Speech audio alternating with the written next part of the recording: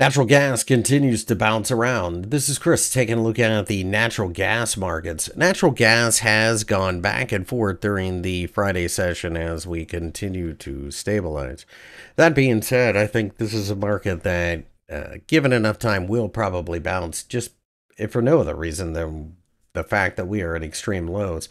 The $1.50 level underneath continues to be a bit of a floor in the market. And as long as we stay above there, I don't have any interest in trying to bail out of my position. I currently have an ETF position in this market and therefore there's no leverage, so I'm not overly concerned. I can hang on to this for an extraordinarily long amount of time, and that might actually be what has to happen.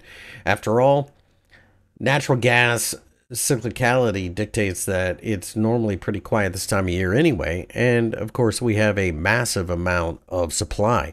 That won't last forever because, quite frankly, drillers are not making that much money. But uh, once we get to the cooler part of the year, or perhaps with a heat wave in the summer, we will see a spike in natural gas prices and I will collect my profit.